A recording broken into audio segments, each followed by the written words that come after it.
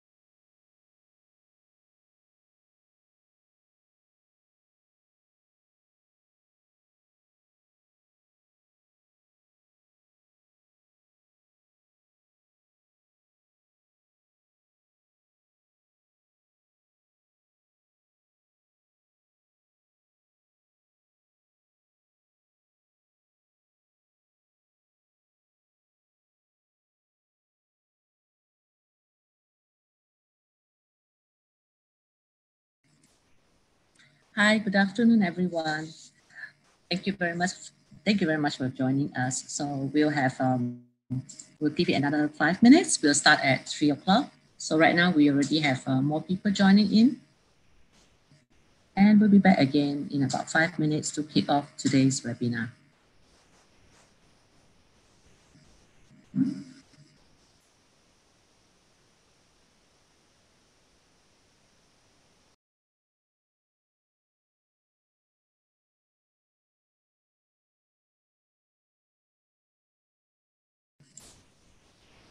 For those of you who are already here in the webinar, perhaps you just like to um, say hi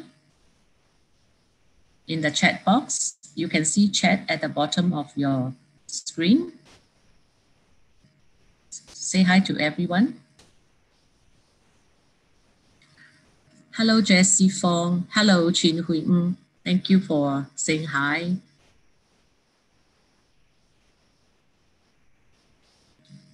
Ming Lu Chai, Rose Shamsia, Tan Chi Young, Asru bin Ayub. Hi, everyone.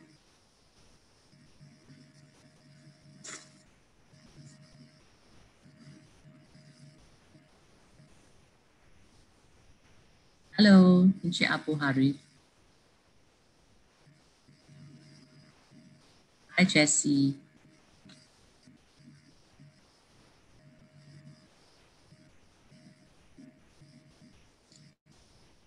Hi, Kao Fang. Thank you for being here. We will start this session quite shortly in about three minutes. We have an interesting topic today, so I'm sure it's going to be a lively session.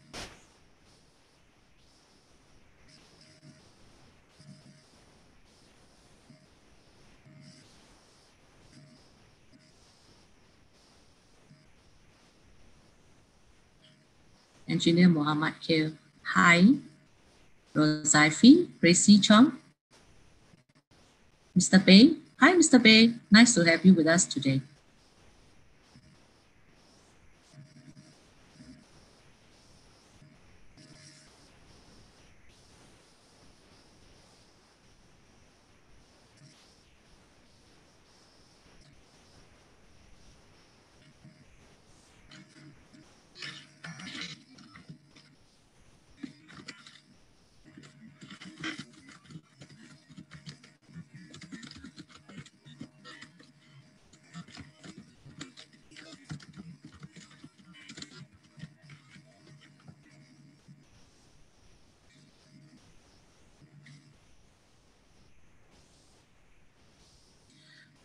Today's session will be about um, 45 minutes to one hour, but after the presentation, our speaker will be taking uh, the questions and answer session.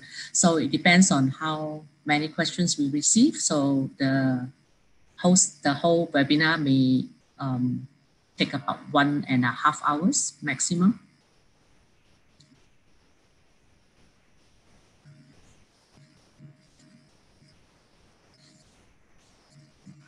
Just one more minute, we will start.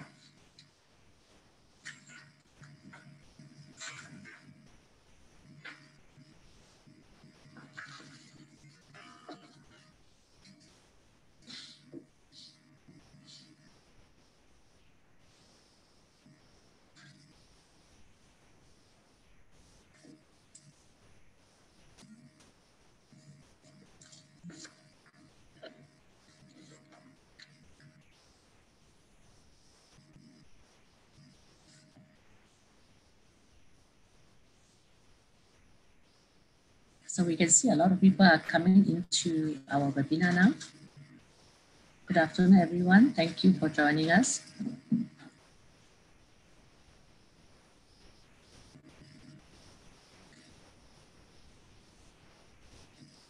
Okay, so I'm going to start now.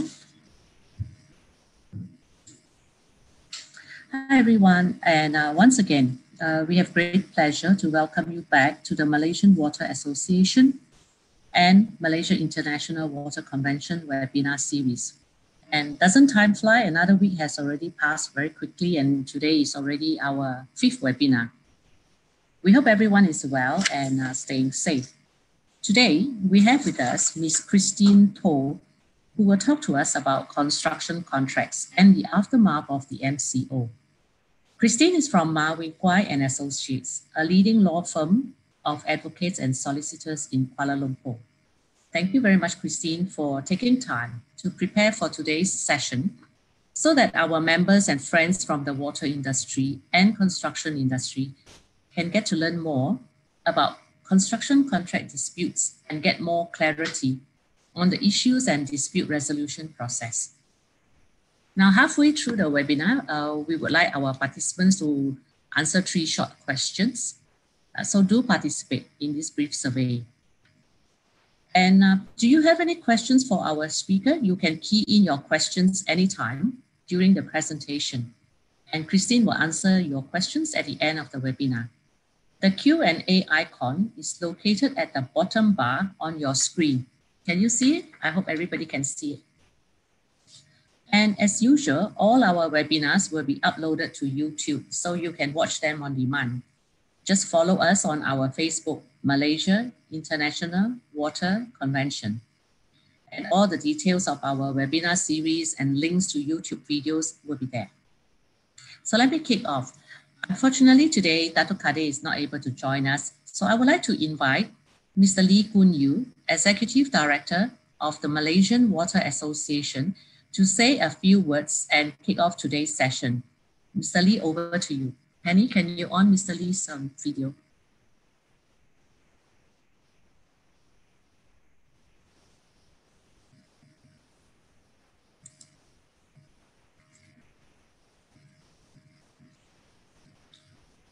Can you hear us, Mr. Lee? Okay, can? Yes, okay.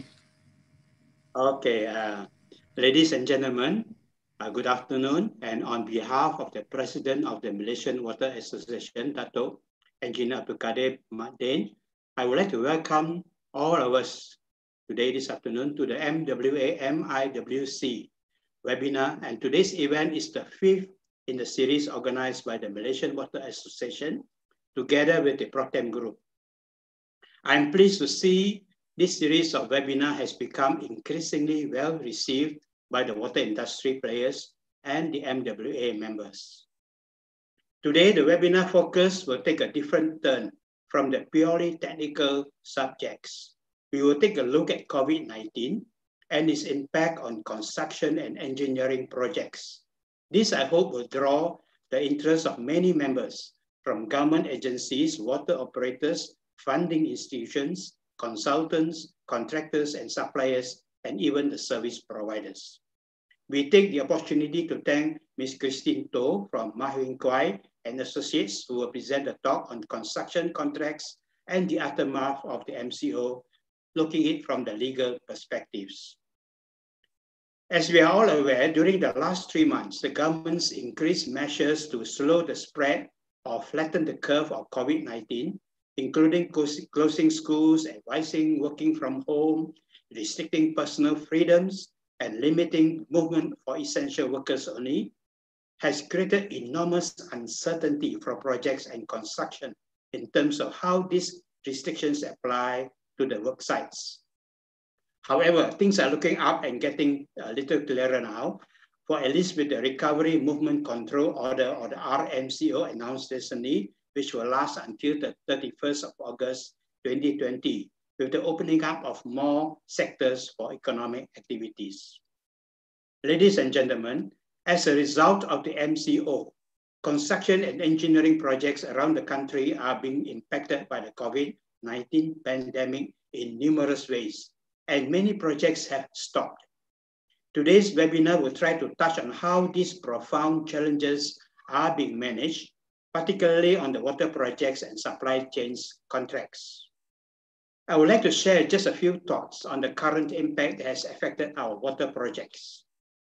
Firstly, COVID-19 is having a massive impact on construction projects, uh, but the legal implications may vary on the, on the contractual side, and much focus is now being given to the working of standard forms, to the wording of the standard forms where it's used such as the FIDIC JKR 203A, IEM, or the PAM form of contract. As the COVID-19 situation is developing and reopening of construction sites are anticipated, further issues are arising on how COVID-19 is affecting the ongoing contracts in terms of their rights and liabilities. Number two, at this stage, COVID-19 is not broadly speaking rendering projects altogether impossible to complete but it is slowing them down nevertheless, causing delay and disruption, even if only because supply chains and workforce have been severely uh, disrupted. Many projects have even stopped usually with the intention to resume work at a later date. This has implications on the state's ability to meet our rising water demand on a timely basis as planned. Number three, in all cases, though where work continues, health and safety risk assessment need to be conducted consistent with medical, scientific and government guidelines and contractors' duty to provide a safe working environment, free workers, uh, uh, free, giving, giving free workers accommodation and the COVID-19 testing. This has implications on cost and the engagement of foreign workers and the conditions they have to comply due to changes in law, in inverted commerce, as ordered. That said, where there have been specific orders requiring construction sites to close, there are issues arising from contractors' suspension of works, claims for losses and expenses, to extensions of time until the end of the state of emergency period, especially in public works and water supply contracts. I understand the contractors are concerned that they could face delays or increased costs as a result of the COVID-19 outbreak. In this regard, the contractors would be well advised to consider whether they have any express entitlements to relief under their contract. As epidemic, as epidemic or pandemic events are not listed as separate relevant events, entitling a contractor to an extension of time, contractors seeking entitlements resulting from the COVID-19 outbreak would most likely seek to do so under the force majeure uh, relevant event. Whether it can be relied upon in relation to the COVID-19 outbreak will depend on how the clause is triggered in the contract. All these issues, I believe, will be adequately covered from the legal standpoint in our webinar today. Finally, the MWA hopes the government will offer aid to contractors and businesses negatively affected by the COVID-19 situation. So even if a contractor may have no contractual or legal entitlements or compensation for prolongation costs due to work being significantly delayed or impaired, government aid could be made available to defray some of the ongoing costs incurred or otherwise provide a financial respite Employers may also be entitled to the benefit of these state aid measures. In this manner, we hope our water projects will continue unabated according to plan to meet the demand and for the benefit of the consumers. In fact, our President, Dr. Kadir, is also actively engaging with some of the ministries to talk about this help and aid to the contractors who are negatively affected by the COVID-19 situation. Lastly, I wish to say a big thank you to all participants for registering for this webinar. Please take this opportunity to ask a lot of questions and as it is rarely, rarely we can have a legal expert in the MW event. Thank you to Ms. Uh, Christine Toh and also to Protem Group for organizing the webinar. I wish you all a fruitful time together. Thank you and uh, good afternoon. Thank you, Mr. Lee. So now uh, without delay, I'm going to uh, invite Ms. Christine Toh to um, start her presentation. Christine?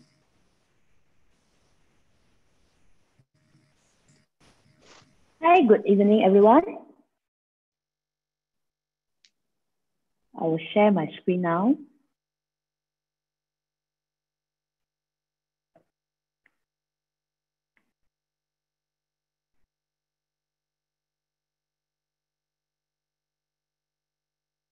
Thank you for the introduction, Denise and uh, Mr. Lee. It is my pleasure to be invited to give the speech, to, to give this uh, webinar to the members of uh, MWA today. Without further ado, let's start. Just a little bit about our law firm. Mah Weng Kwai and Associates, we are a small, we are small medium, we are uh, trusted by small medium enterprise, family businesses and individuals we are established in 1985 by Datuk Mah, now a consultant with the firm. We are a medium-sized law firm with 22 lawyers and 19 staff. We are a full-service law firm with four departments, corporate, dispute resolution, employment, individual, and families. And we have five practice groups, the Asian China Desk, construction, foreign direct investment, real estate, sports, and esports. So about today's top point, force majeure, how it is, what it is, and how it helps. Extension of time, would I get my EOT? I can see that I already have questions about EOT and loss and expenses. I believe it's a burning, uh, those are, these are all burning questions that I will address during this talk and also after the talk. Frustration of contract, does it apply? Mr. Lee mentioned just now that now the contract is harder to perform, but it doesn't seem to be impossible to perform. So how, what does it tell? Whether can I invoke the frustration, the, the doctrine of frustration of contract? And of course, during this seminar, I will make reference to the normal standard form contract that we apply that we that I commonly see in Malaysia. For example, the PAM, JKR, which is the PWD, FIDIC, and IEM. And lastly, I will end this webinar with a brief introduction of CIPAA and how CIPAA can help the contractors and the subcontractor in the Malaysia construction industry. Force majeure. To be precise, there is actually no legal definition as to what is a force majeure. I often ask, got asked, so does this MCO fall under force majeure? It really depends on the terms of your contract. It is a creature of the contract. Although you do have case law to sort of try to explain what a force majeure means, but it is a definition as to what this um, force majeure clause intends to address. So in RHB Capital Berhad, the court states this.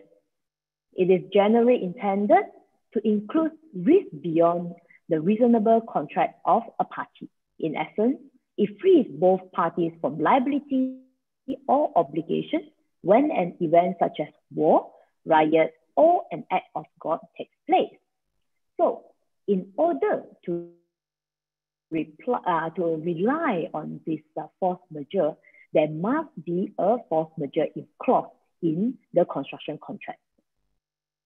So let's look at PAM. Force majeure was defined under PAM, Article 7 AD of PAM 2006 and 2018. So as you guys can see, epidemic falls within the definition of force majeure. Next, we will look at PWD 203A, revision 1, 2010.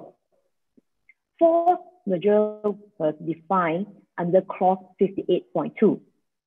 I have listed down all the events of force majeure as defined under PWD you have war, you have military power, uh, usurped power, natural catastrophe, nuclear explosion, so on and so forth. But we do note that epidemics, which is what we have now, COVID-19, is not included as a force majeure event under clause 58.2.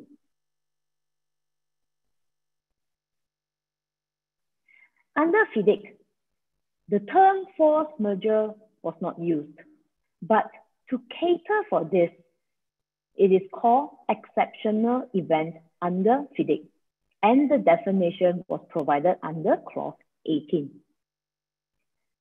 It is beyond a party's control.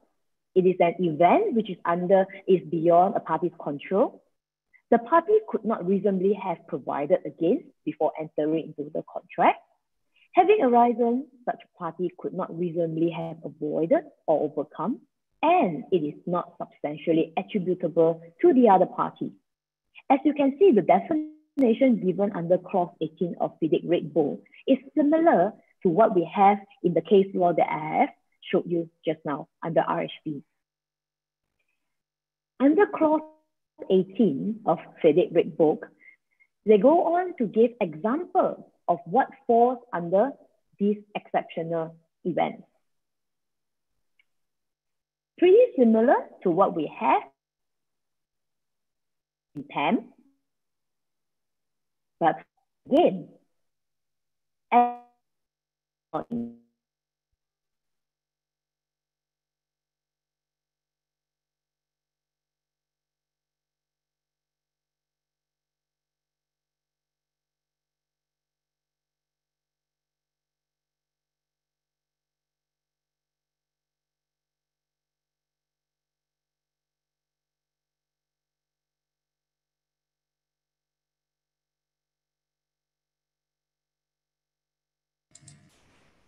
think we have lost Christine there. To expressive.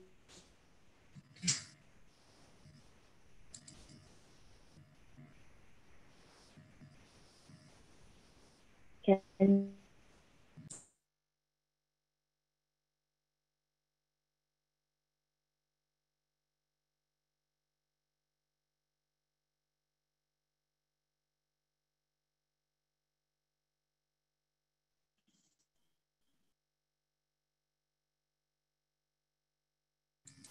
Christine, are you back?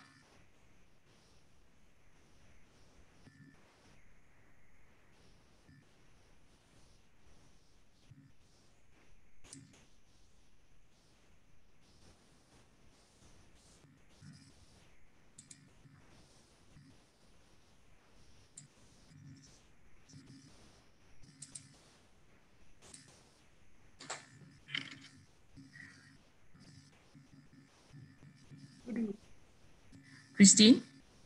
Can you hear me now? Yes, Christine. I think we lost you for a while just now. Perhaps you can continue Okay. now. Yeah. Where did y'all lost me? So I'm so sorry about it. Yeah, it's okay. It must be the connection. Okay. I will continue with the screen sharing first. I think you lost at the FIDIC examples. Yeah, FIDIC. There we are. Example, ah, this one. Right. All right. Thanks, Mr. Lee. Thank you so much. I'm so sorry for the disruption. No worries, no So- worries. Right. So next we will, and, and as I have uh, mentioned just now, epidemic was again not included under exceptional event of FIDIC Red Book. And FIDIC Red Book also define what happened, also lay down the procedure, I would rather say, that what happened if there is an occurrence of exception of an exceptional event. So you have to give notice to the other part, the counterparty, within 14 days of becoming aware or should have been aware of the exceptional event. And it is also expressly spelled out in clause 19.4 that if the contractor was affected by an exceptional event, then he shall be entitled to EOT. I will address the, the issue of EOT and loss and expenses in a short bit. Let's have a look at uh, IEM. Again, the term force majeure was not used in IEM, but rather it is defined as the employer's risk. Clause 20.4 listed down the event, the exam, the event of what falls under employer's risk. Again, epidemic is not included as an employer risk.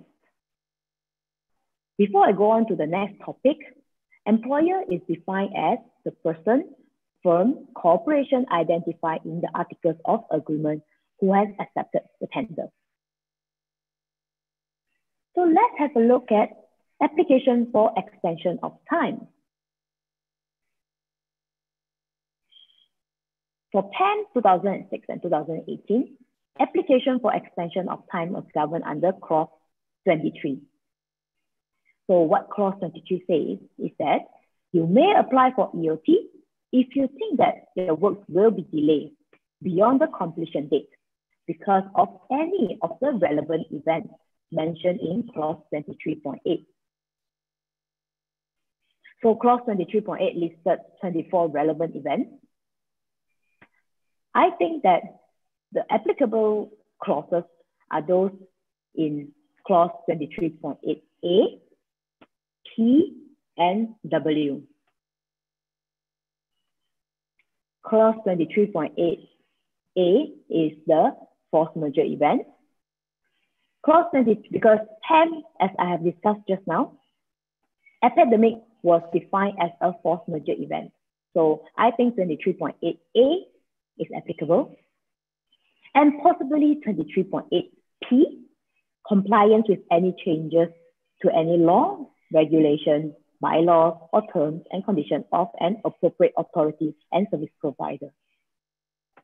And of course, lastly, 23.8w, suspension of the, the whole or part of the work by an order of an appropriate authority, provided the same is not due to negligence, omission, default, or breach of contract by the contractor on the or the NSC. So I think that all these events are is applicable when you want to apply for EOT arising from the COVID-19 MCO.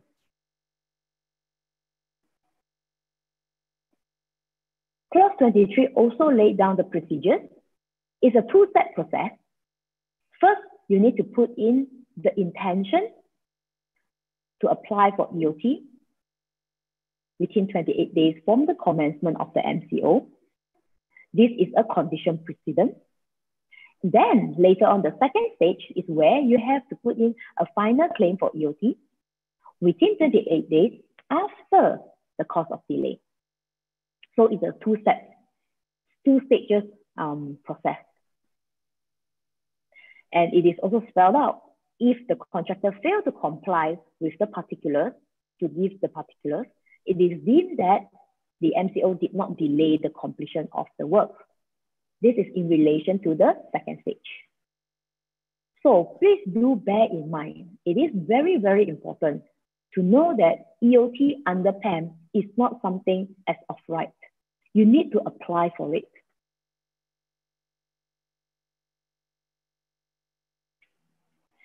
I would like to share with you this uh, require, the notice requirement, the importance of notice requirement.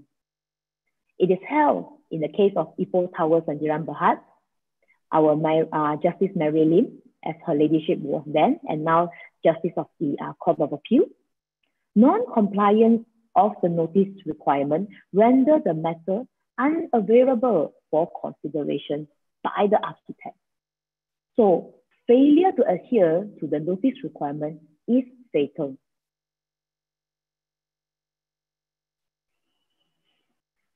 Next, I will, I will go down to um, discuss about PAM, uh, sorry, PWD. So similarly in clause 43.1, PWD listed 10 events. And yes, epidemic is not included as uh, under the definition of force majeure. But I think if you look at clause 43.1, I, delay in completion is due to the contractor's inability for reasons beyond his control and for which he could not have reasonably foreseen.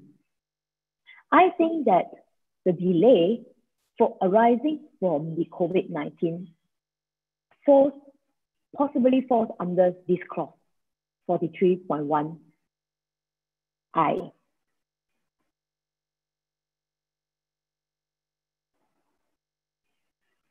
Next, we will look at FIDIC. So the effect of an exceptional event was spelled out in clause 18.4, and the contractor shall be entitled to EOT. And you have the procedures. The procedures was laid down in 20.2. Similarly, it's a two-stage process. The notice requirement, once again, it is of utmost importance. You must adhere to the notice requirement in order to be entitled to claim for EOT. So this is the second stage where you have to put the full detail. This is quite similar to what we have just looked at under PAM.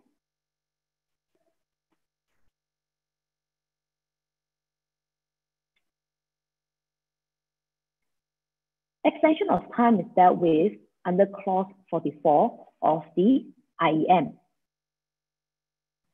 An engineer may certify extension to the date of completion by fixing an extended date if there is a delay in the completion of work caused by a relevant event listed in 44.1 sub 1.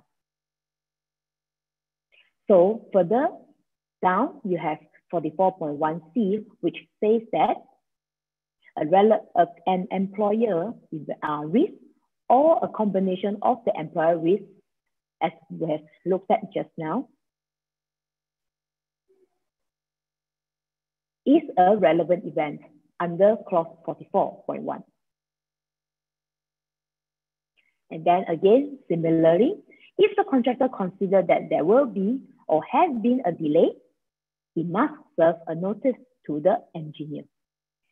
And again, similarly, you have to include an estimated extended date for the completion in that notice.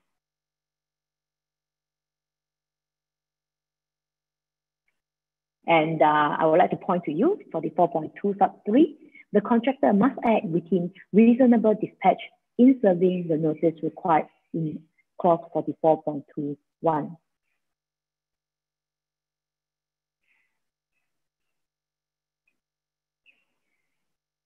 Next, I will address the issue of loss and expenses. Whether you can claim for loss and expenses Similarly, like your EOT, it depends on the terms of the contract. But one thing you have to bear in mind, entitlement to EOT does not mean that you are automatically entitled for a claim for loss and expenses. The issue of time and cost are separate. Loss and expenses are governed most of the time by an entirely separate contractual provision. As you will see later, PAM for EOT is under clause 23, whereas PAM for loss and expenses is governed under clause 24. Whether you are entitled for a claim for loss and expenses very much depends on your contract terms. There is no common law remedy for it. These are the examples I came up with, and uh, I'm pretty sure most of you are uh, well versed with all these loss and expenses. These are just some examples. Let's look at PAM. Clause 24 deals with uh, a claim for loss and expenses. There is a similar provision in both PAM 2006 and 2018. Clause 24.3 listed 14 methods which may lead to a claim for loss and expenses. The relevant provision, I say relevant, is for consideration is 24.3n. But when you, let's have a look at it. Suspension of the whole or part of the works by and or by order of an appropriate authority, provided always that the same is due to negligence or omission on the part of the employer, architect, or consultant. Notice the difference in wording between 23 and 24.3.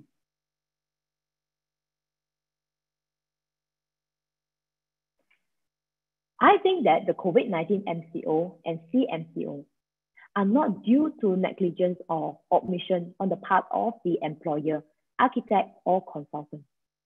And hence, it is unlikely to fall under the relevant event. Because COVID-19 MCO, COVID-19 is a neutral event. It is not attributable to fault of either party.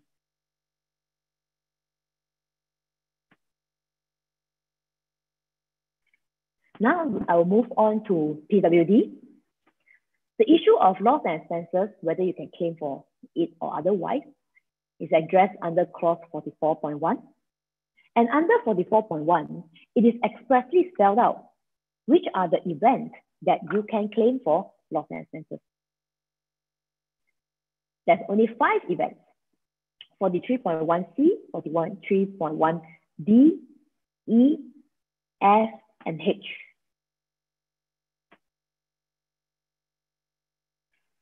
Very briefly, 43.1C deals with suspension of work under clause 50.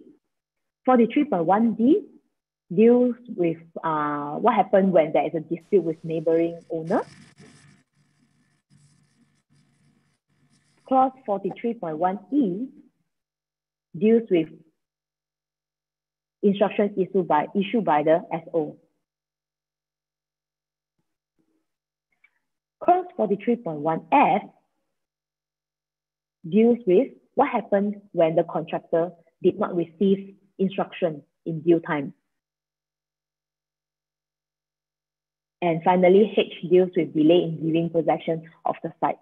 Those are the, those are the circumstances where you may claim for loss and expenses.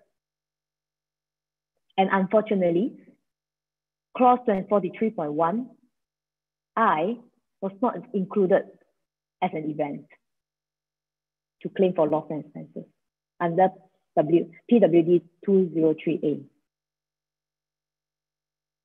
I would like to also point you to clause 77 obligation.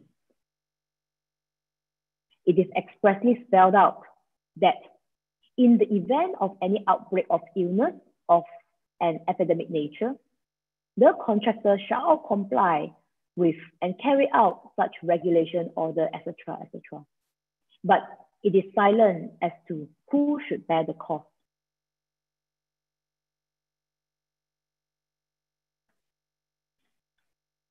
Next, we will look at FIDIC, Red Book.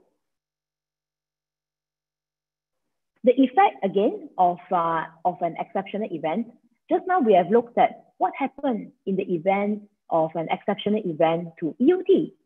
It is spelled out that contractor is entitled, shall be entitled for EOT. That's a good news. 18.4b deals with loss and expenses. It only confines loss and expenses if you fall under subparagraph A to E.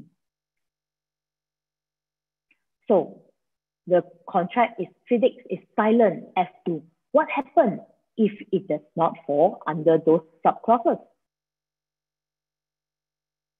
However, as I have um, explained just now, exceptional events, it was defined in FIDIC. And they gave example. The example given is not exhaustive.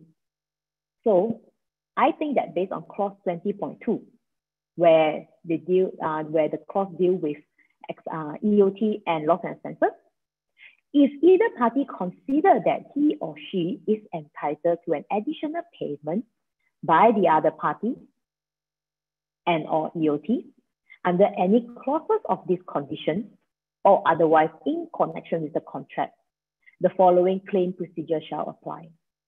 So my advice is go ahead and apply under FIDIC if you, are, if you have a FIDIC contract to claim for loss and expenses and to say that COVID-19 is an for um, satisfied the definition of exceptional event under clause 18 of FIDIC.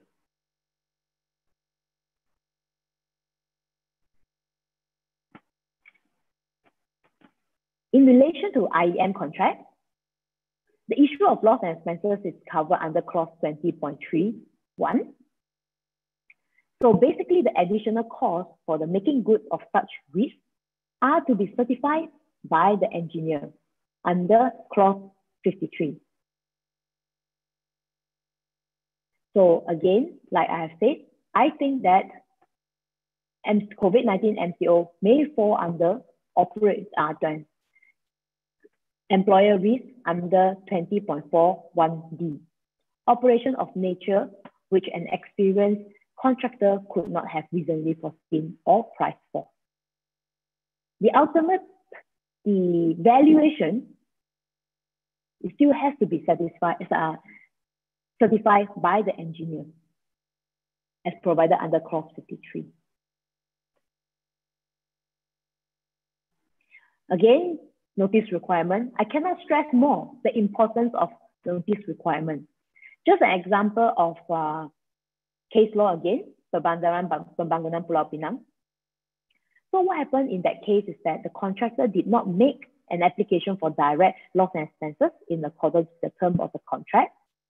What the contractor did was that he wrote in to reserve his right. He said that these article, article, uh, architect instructions and site instructions have affected our site program and revised construction period. We will submit expenses, losses, and other claims incurred as a result of the state instruction in due course.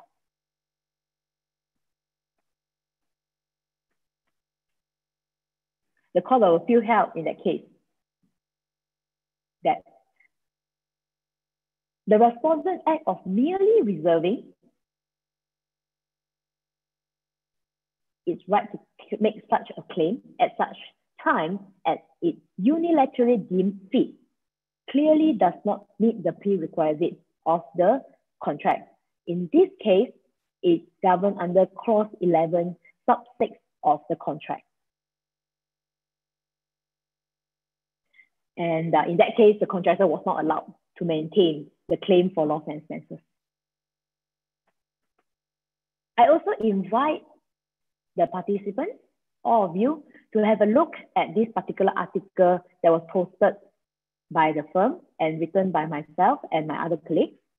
And uh, we have addressed common FAQ in relation to claim for EOT and loss and expenses arising from COVID-19 MCO.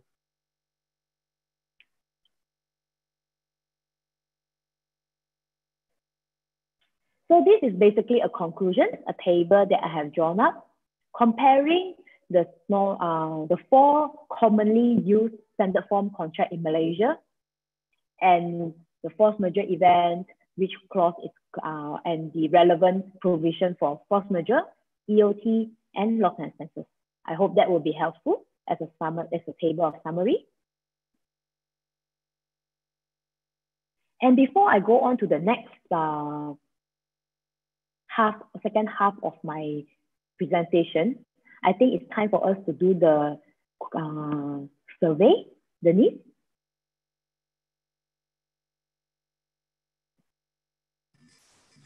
So we pulled up the survey questions. Um, so for all our attendees, can you kindly fill up these three questions?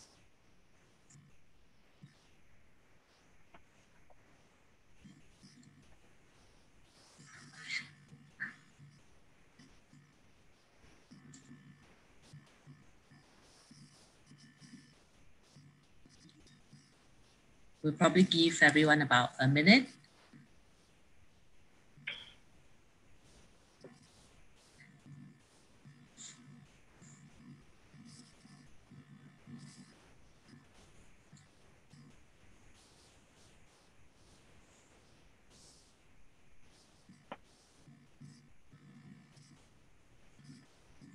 There are three questions, so you can scroll it down to read the third question.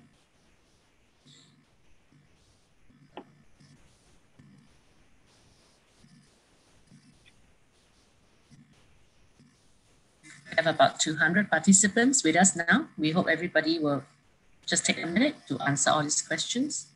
And uh, after the uh, poll, we can immediately display the result.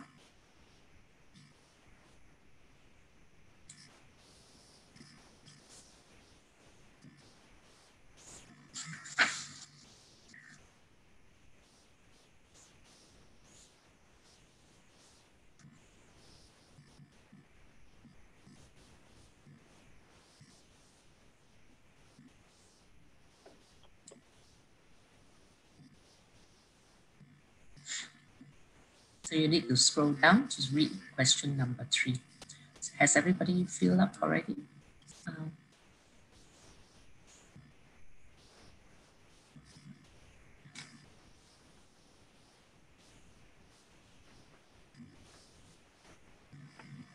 okay, I think we have, uh, I think there's enough time already. Okay, so here's the result stay on the screen handy so our participants can see the result. Question number one. 53% EOT, loss and expenses 3%. You can see number two result. You can scroll down your screen, scroll down the box, the post box.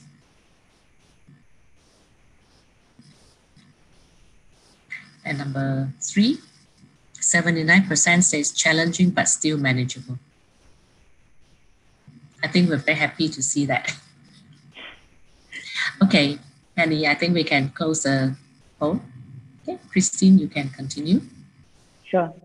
Okay, everyone, do you have your cup of coffee with you? So don't fall asleep as we are going to continue the second half now.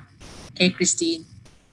I do take cognizance that it is a very heavy topic, and uh, not everyone appreciate all the clause and uh, the, and more so, I'm talking about four different standard form contracts.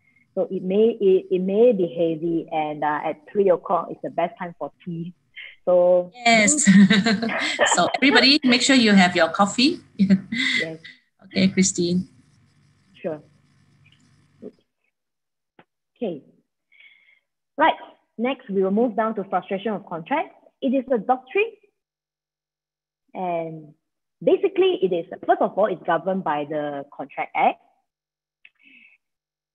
and it's defined as a contract to do an act which after the contract is made becomes impossible. The key term is impossible or by reason for of some extent which the promisor could not prevent, unlawful, becomes void when the act becomes impossible or unlawful. So basically, it's un- impossible to perform. And unfortunately, again, the word impossible was not defined in the Contract Act 1950. So we will have to look at case law. So in the case of one I small, so it states the three elements before you can invoke the doctrine of frustration of contract. Number one, there's no provision has been made in the contract to deal with this particular situation that you're facing. Number two, it is not self-induced.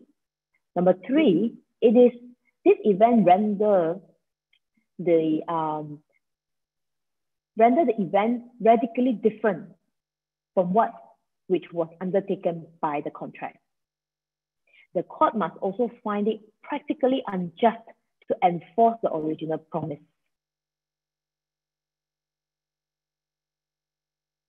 Again, in big industry gas and Berhad, the contract has fundamentally changed, which the party did not contemplate at the beginning, at the time of the agreement. The doctrine of frustration is to be confined to very narrow circumstances.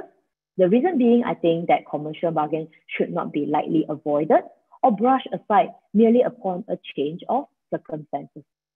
So in order to invoke the doctrine of frustration of contract, it is of very narrow circumstances.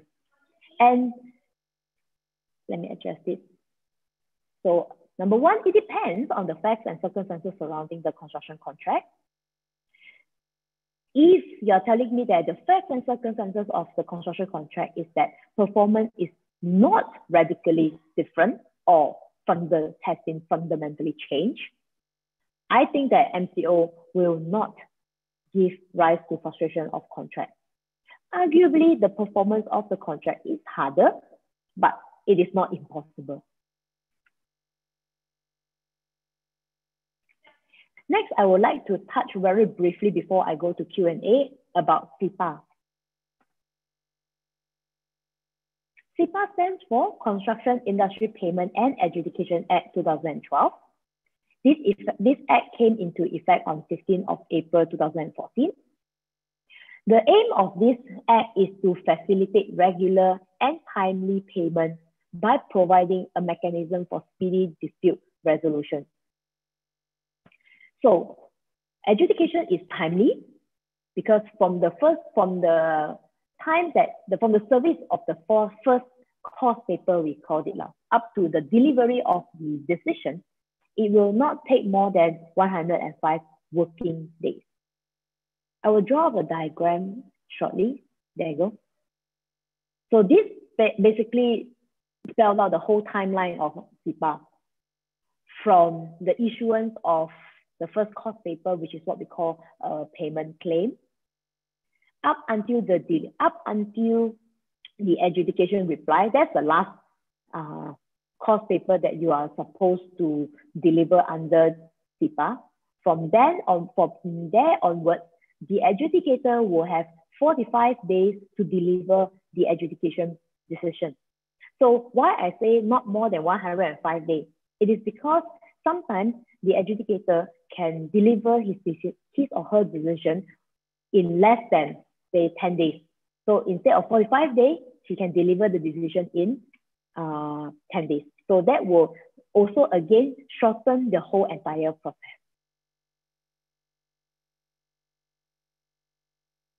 So how can I make use of um, CIPAA? So before you can uh, go under CIPAA, you must be a construction contract. You must have a construction contract in hand.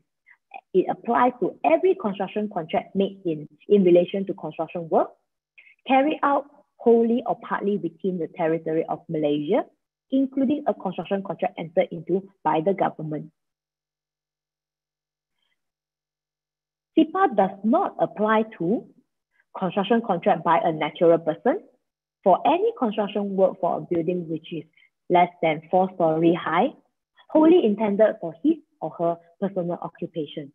In that case, you can't go under CIPAA, in, then you will have to go to court or arbitration, depending on your contract. So I basically um, listed down the characteristics of um, CIPAA. Procedure is summary. Usually it won't involve any hearing and that it is informal.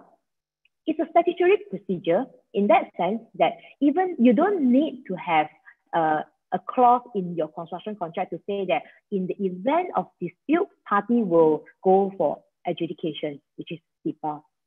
It is a statutory right given to you. As long as your construction, your contract is a construction contract, you can have the, uh, you can claim under CIPAA. As I said, it's a short time frame compared to court and arbitration. And it provides an interim temporary solution. In that sense, even though uh, works are ongoing, you can commence uh, CIPAA proceedings.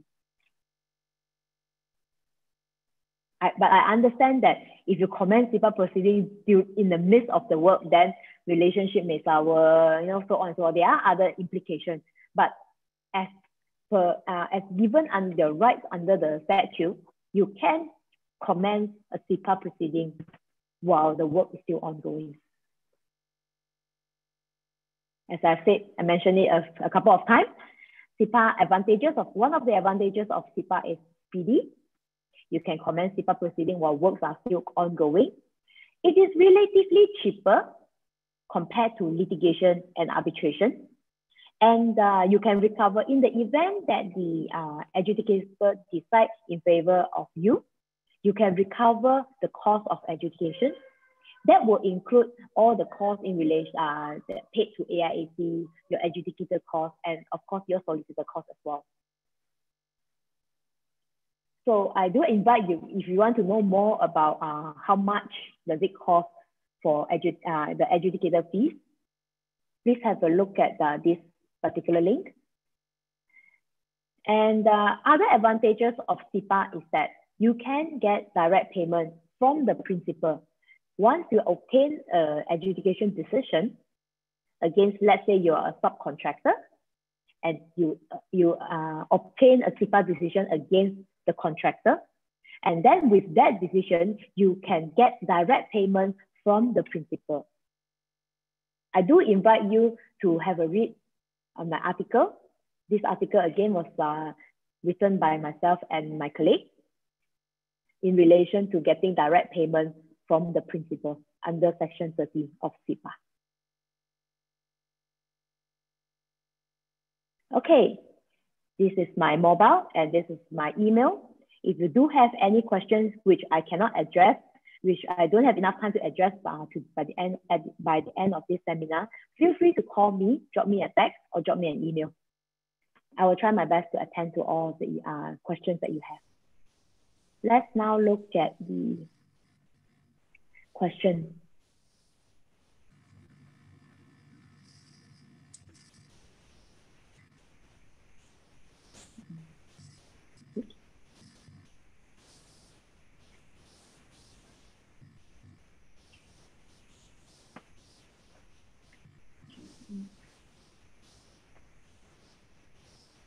Denise, I can't seem to pull up the question though.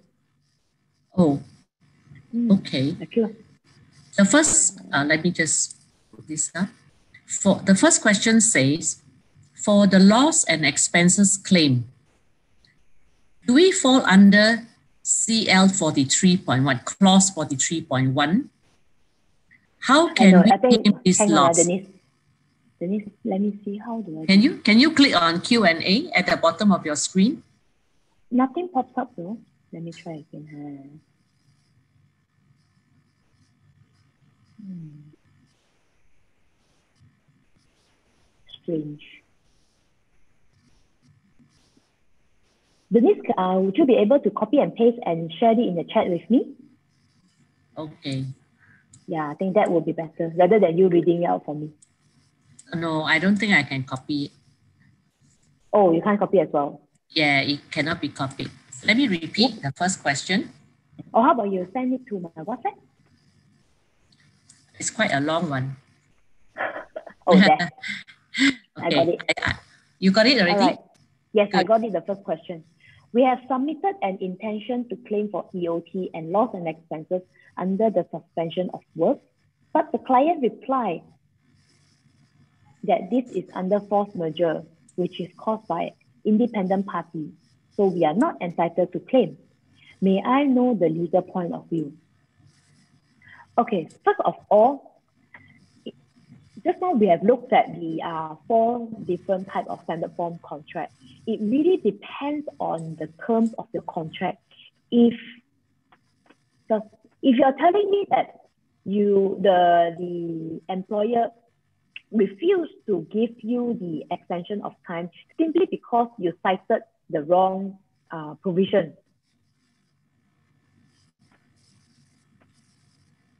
Yeah, wait, let me see. Still can't, I still can't look at the question. Ah, yeah. Okay, back to the question. You, I need to know what is force majeure defined under your contract. And also what suspension of work, uh, how is suspension of work defined under your, your contract in order to answer that question.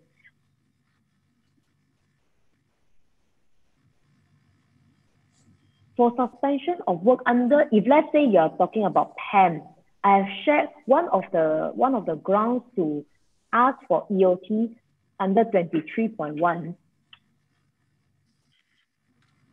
is actually this suspension of work. So I do need to know more information before I can answer that. It depends, it really de depends on what kind of uh, contract you have and what are the terms of the contract. Can we claim, can claim, can we claim for additional costs resulted from the compliance to the authority's SOP and requirement under compliance of new authority requirements? Otherwise, is there any other clause that entitle a contractor to claim for such additional costs incurred? This is a loss and expenses claim. Again, it depends on the terms of your contract. If you're telling me if it's PAM, looks like unlikely because uh, as what I've shared, for FIDIC, it is possible. For IEM, it is possible. For PWD, unlikely again. So it depends on the terms of your contract and which, if you're using a standard form, it depends on which standard form. And if you're talking about bespoke, more so it will depend on how it is agreed upon between the parties. The next question. Though we are allowed to start work under CMCO, but the local authorities such as DBKL have not started work, so there is a delay in the issuance of permit to work. Can a contractor claim for EOT and loss and expenses for this period?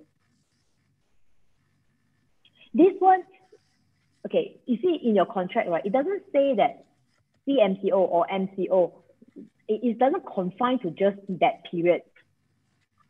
Because of COVID-19 and it caused all this delay, I think by that alone, you will fall under that uh, particular clause that you're looking at depends on which, again, depends on which uh, standard form contract that you're looking at. So, but my conclusion is that my, my what I'm trying to say is that your entitlement for EOT not necessarily means that it is only confined to that period of um, uh, MCO or CMCO. For example, the disruption in the supply chain.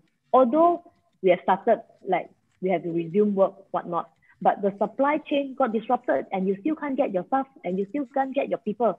So that will also have to be taken into consideration.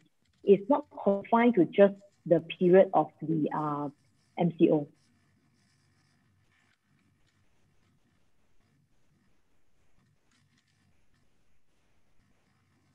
Is the next question. Is the movement control order announced by YB Prime Minister equivalent to force majeure under the contract? Number one, it is not an um, again, you okay. This this is a question that I got very very often. I hope that by now you all do appreciate that there is no legal definition as to what is a force majeure. You need to look at your contract to see how it is defined. For PAM, there is a there's a list and there is a definition. For FIDIC, it is called exceptional event. For uh, so it depends on the contract term. So whether uh, MCO falls under an event of a force majeure event, it depends on your contract. Is the conditional movement control order equivalent to force majeure under the contract? Oh, okay. So this one is uh is the same question, but it is about conditional movement control order. Again, my answer is the same. It depends on the terms of your contract, how it is how a force majeure was defined under your contract, and also please bear in mind that the claim, the procedure or entitlement to claim for EOT and loss and expenses are different. You may be entitled to claim for EOT uh, because of this force majeure, but because of this COVID-19 MCO, but you might not be entitled to claim for loss and expenses. So just now, like what we have seen in the survey, most of them I see can get your EOT claim, but the uh, entitlement for loss and expenses is very much significantly lower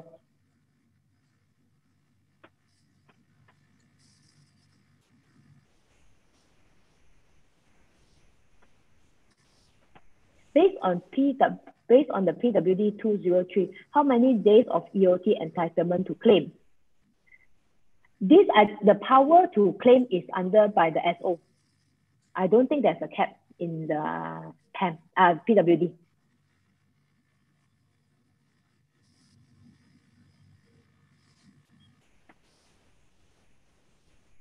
For loss and expenses, for loss and expenses claim, do we fall under clause 43.1 L? How can we claim for this loss?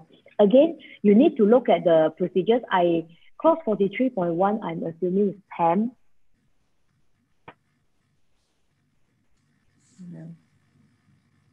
Just bear with me. I'm going. Uh, I'm assuming it's PWD because it's a continuation of that question.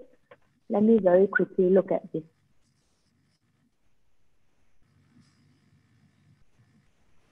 I'm going to pull up uh, PWD.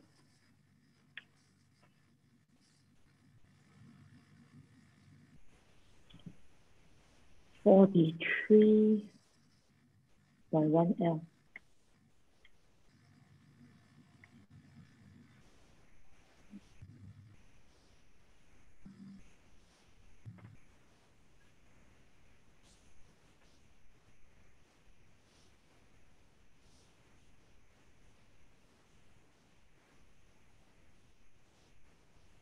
I think yes, for this, yeah, I think this is what I have shared as well. L, you know,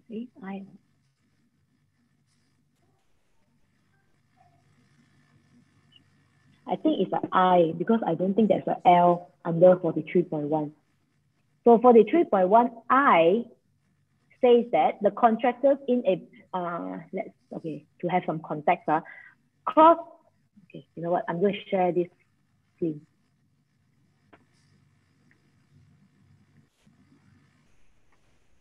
So that it's easier for us to see. So this is clause 43 of uh, PWD.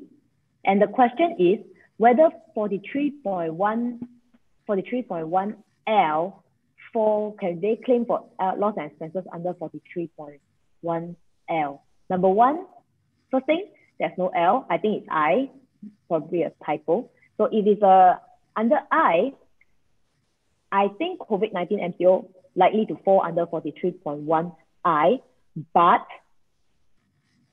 do take note that clause 43 deals with extension of time. It doesn't deal with loss and expenses. And loss and expenses is dealt with under clause 44. And I've also shared just now during the webinar clause 44 to claim for loss and expenses, it only confined to 43.1c, D, E, F, and H. Okay. That is, I can I I I able to look at the questions already.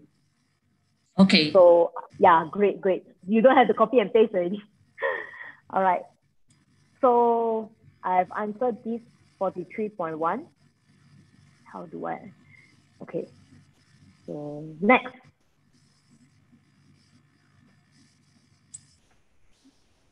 Would like to request for PPT file of your presentation. Sure, can. Please drop me a uh, please drop me an email, please. And uh, if based on PWD uh, design and build, is there any potential claim for loss and expenses? Hang on, uh, I'm going to stop sharing. I, if I'm not mistaken, the design and build is similar to 203. Let me pull up that uh, design and build and have a look at it in a short bit. I will address the others as well. I will address the others first.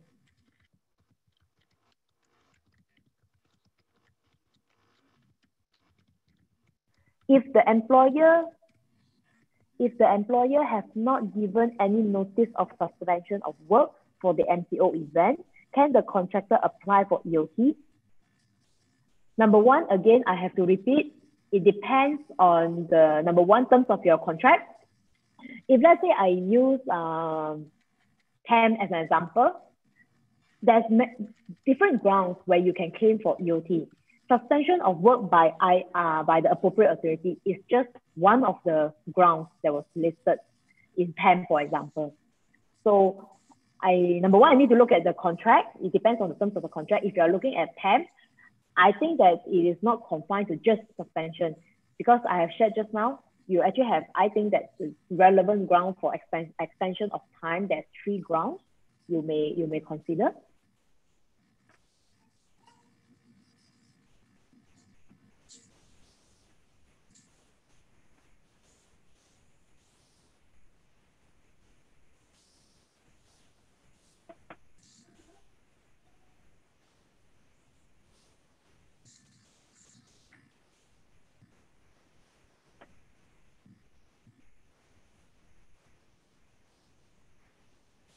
So what is your opinion whether MCO or CMCO applicable for this force majeure? Again, I have to say that it's taking a while to understand the question. Force majeure is, again, there is no legal definition as to what amounts to force majeure. There's no legal definition. If you look at the contract, it define in the contract itself what is a they, they don't want to use force majeure, they can use exceptional events. So it depends what was defined under uh, this force majeure and whether this CMCO can fall under this event. I think as a general rule of thumb, I do think that it is something that's beyond parties' expectation and is attributed to no fault of either party. I think that it will fall under the, the general definition of force majeure.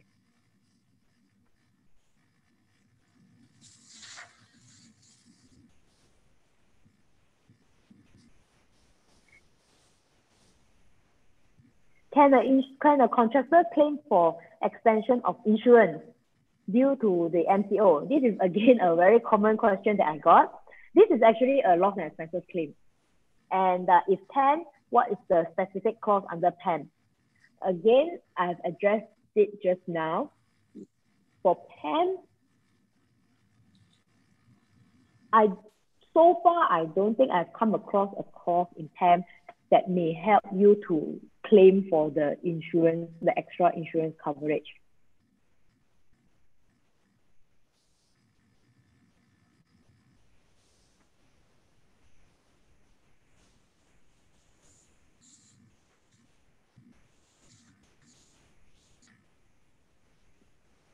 based on PWD 2003 from 18th of March until today, can we claim EOT until we resume? Oh, I, I better click. Okay. Based on PWD 203 from 18th of March until today, can we claim the EOT from 18th of March until we resume to work on 1st of June? This is because MCO, CMCO, and SOP compliance all general worker have to get COVID-19, yeah, let me see, COVID-19 screen test results before they can resume work. the screening are delayed due to available test kit and schedule when can test? I think yes. I think likely you can get it based on PWD, based on our last uh, discussion just now and the relevant provision for EOT. Again, I like I said, EOT is not confined and should not confine to just during the MCO period. It, it is an event and lead to the delay. The delay was not caused just by the movement control order. It is every other thing that is consequential thereafter.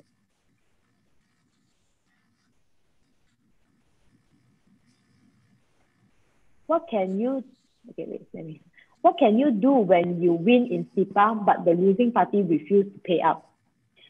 Okay, I think that this question of uh, losing party not willing to pay up is not only confined to CIPAA.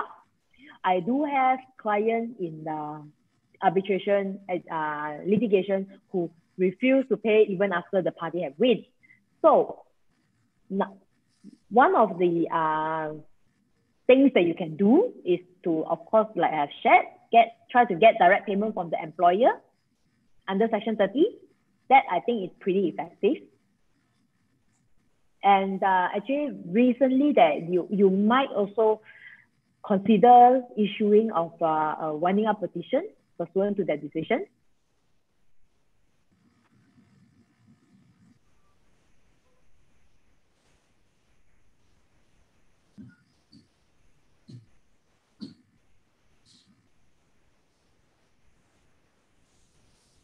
Okay.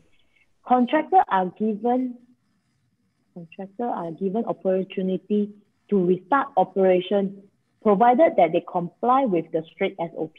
Okay. If they are unable to comply due to uneconomic cost to comply within the SOP, can they still claim EOT until much later date when SOP requirements are retracted by the or by the government? I see. So you're okay it is a it is a legal principle as well that you as the contractor have to mitigate loss.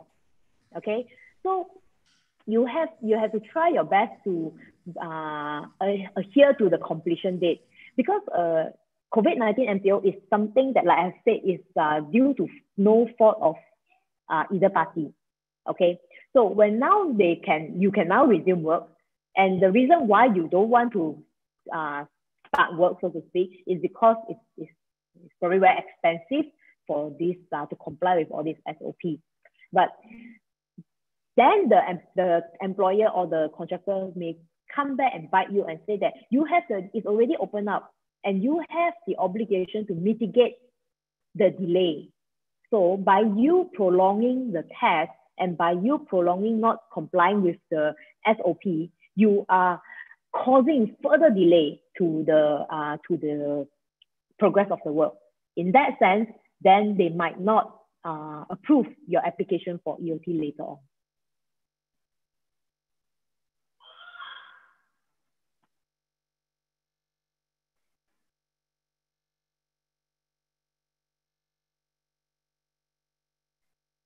Must a notice be agreed by both parties if there is a dispute with regards to the notice? Would it be enforceable? Uh, no, the notice, I don't think the notice uh, has to be agreed by both parties. Most of the time, it's, you have to give notice as to, okay, this is my intention to claim for EOT.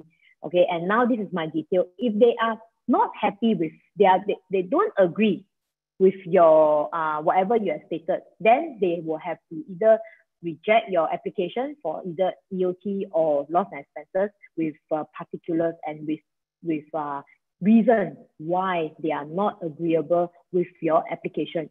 But having said that, they cannot then say that your notice is not good. Your notice is good, it's just that they are not uh, agree, agreeable with your notice.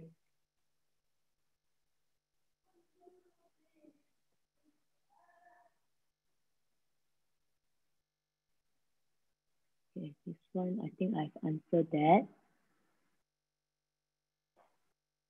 this one also I have done for loss and risk.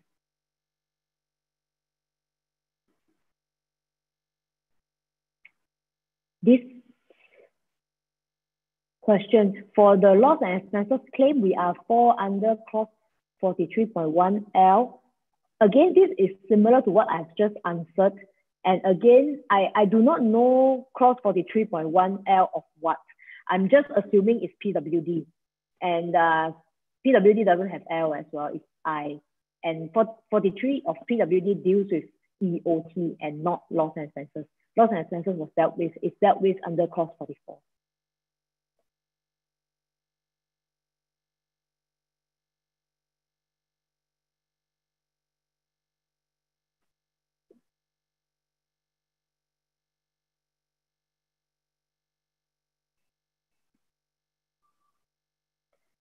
Okay. I think I have pretty much answered the question. How, okay. This one is, however, there is no definition or list given in on this force majeure.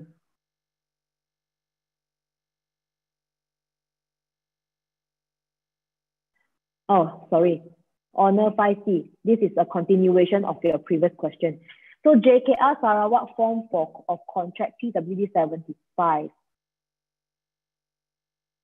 I am pretty sure that there will be a definition of force majeure because 41 dealt with uh, event of delay. Force majeure, it is there, but it will be defined some uh, in, maybe you want to check clause 58 it's not defined under 43, but please do check clause 40, 58.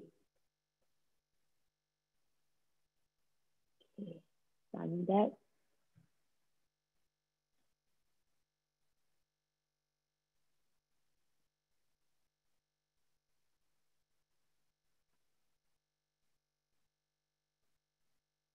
I think I have pretty much done that already. Can you claim for expenses to comply SOP to commence work? Again, this is, uh, I think this is loss and expenses. You have to look at the terms of your contract, whether you are entitled for it or not.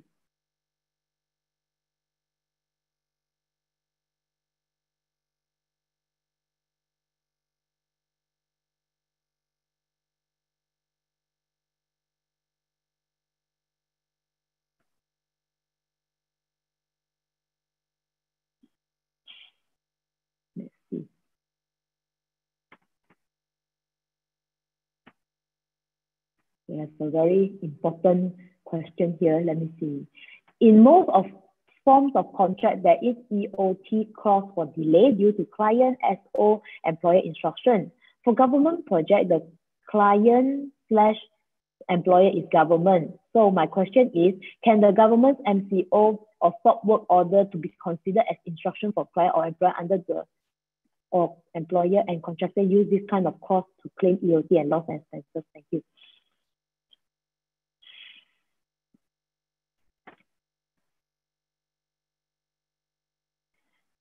Number one, I do I, I understand your question, and uh, although from the perspective it may seem that it is government is one entity, but you need to look at the terms of the contract to see who is your employer and under the contract who has the power to issue the suspension order. That again depends on the terms of your contract. But if you say you want to use the announcement by the government that uh, okay, this there's this movement control order and now everything has to be suspended, that fall under a suspension order. It's arguable. I, I really need to look at the terms of the contract to see what define suspension and who has the power to give that suspension order in your contract to answer that question.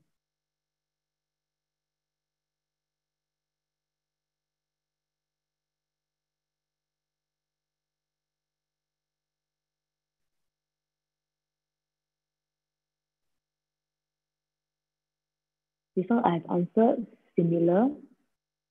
Some of the questions that you're, um, uh, some of the questions, uh, the some of the question was actually repeated. So I, I will just have to go through it very quickly. If, yeah, I think you can skip the questions that yeah, are yeah. there are a few with uh, quite a number of repeated actually.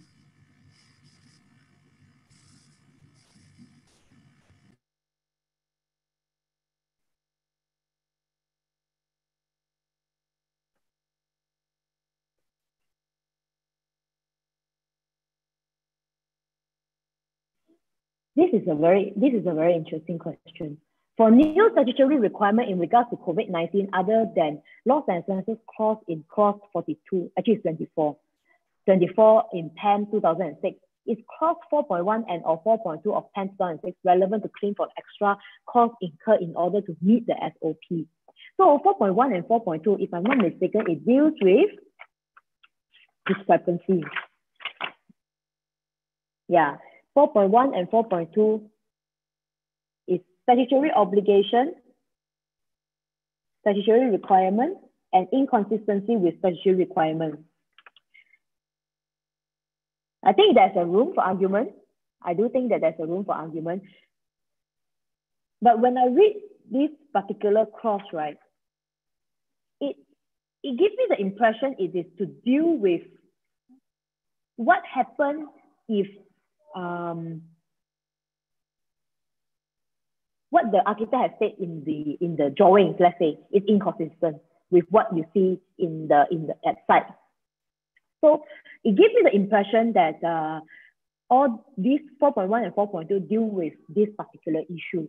But I do take cognizance that it is arguable that you can fall, you can possibly fall under 4.1 and 4.2. That is a, is a very good question.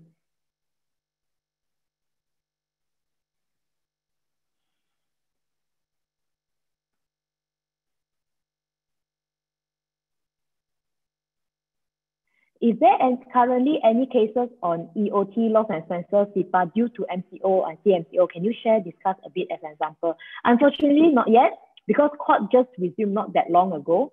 And I think the general sentiment of the public is that they want to wait and see. And uh, I think people are generally very busy applying for EOT and uh, loss and expenses instead of bringing people to court because of this uh, uh, uh, uh MCO. So um, unfortunately, I don't have any case, uh, case law now to share with you. And uh, if I do, I will, and uh, I will put it up as a, in the form of article.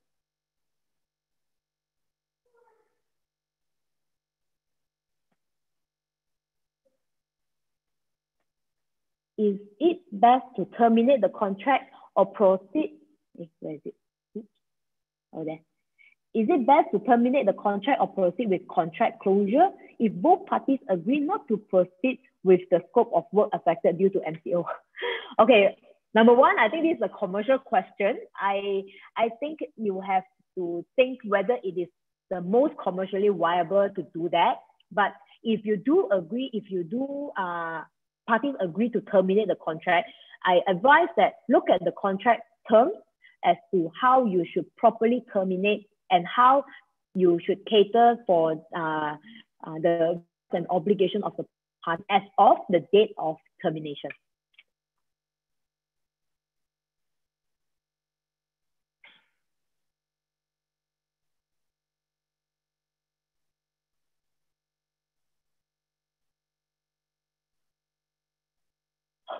Sorry, uh, sorry, I, I need to, okay, I will share with everyone.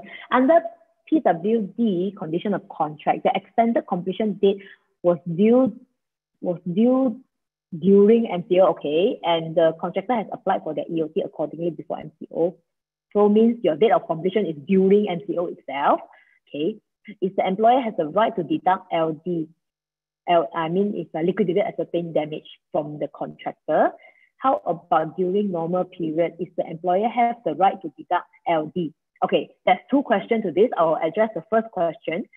Whether the, the fact that you have applied for EOT, so if, they, if the employer agreed with your, uh, allow your application for EOT, and then in that case, no LAD should be imposed upon you because they have already extended your uh, date of completion. How about normal period? If the employer have the right The right to deduct LAD for the delay in the progress in the completion of work. Number one, again, is uh, contractual right. You need to look at the terms of the contract to determine whether the employer has that particular right. Okay, if they do, then you have to look at the procedure in the LAD clause. There will be certain procedures, whether they have to issue the certificate of non-completion, they have to give you notice, all these things, it has to be complied with before the employer can impose a LAD on you.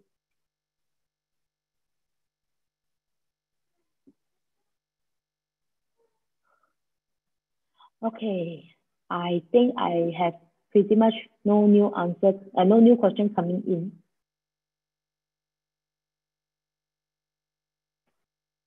Okay, this last one, Larry. If the client gives an official instruction to resume work today, can we claim an EOT up to the date of instruction or only up to the date the government allowed construction to resume? I think that your application for EOT it has to be up to the time where the it has to be that period of time where this MCO affect you factually. If let's say, for example, okay, the government say that you can resume work, but your your client actually tell me that no, no, no, I don't want you to resume work. I want you to stay on for whatever reason. So that one is something that the client has given you instruction to do. And of course, uh, assuming that there is a due compliance with the procedures. So that I think will cover the part where your client asks you to refrain from uh, commencing work. The EOT should cover that part.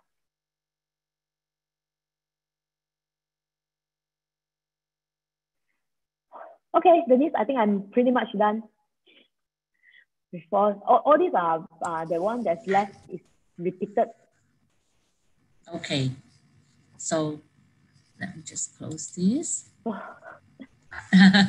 you must be tired now. I'm very excited actually to look at all these questions. These are very interesting questions. A lot of them have uh, given me very interesting questions actually. And uh, these yeah. are, uh, uh, and of course, these are very common questions and uh, burning questions by uh, a lot of them. It's not that I wish to address all of you. The issue is that because each of the standard form and more so uh, we I, I have covered the four standard form. There are also uh, construction contract which is bespoke. So I, I can't tell you what is your rights and uh, obligation if I don't see the contract, you see. Correct. Yeah. Okay. So I think if any of our participants want to know more, you are welcome to um, send an email to Christine or send an email to Malaysian Water Association um, just contact us and then we can pass your question to Christine to answer them. Yes, I have so, given my contact in my slide. So uh, do feel free to drop me a text or email. No issue. Okay, thank you, Christine. So uh, thank you uh, to Malaysian Water Association for today's webinar. Uh, Mr. Lee, are you there? Is Do you have anything else you wish to add? No, no. Thank you very much, Christine, and thank you, everybody. Okay. Thank you, Christine, for your uh, invaluable contribution and your time today. So last but not least, we want to thank all our MW members and friends from the water industry and the construction industry for joining us today. And next Tuesday, uh, we will be talking about important but neglected aspects of water treatment plant life cycle.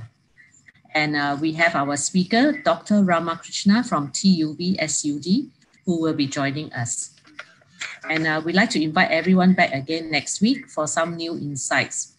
Uh, so do follow us on our Malaysia International Water Convention Facebook page for details of all our webinars, the updates, and the links to our uh, YouTube. Thank you again, and um, may you all have a productive week ahead. So let's meet virtually again next Thursday Thank you, everyone. Thank you for joining us. Thank you for being with us. Have a nice week ahead. Thank you, everyone. Thank you. Bye-bye. Bye-bye. Bye-bye.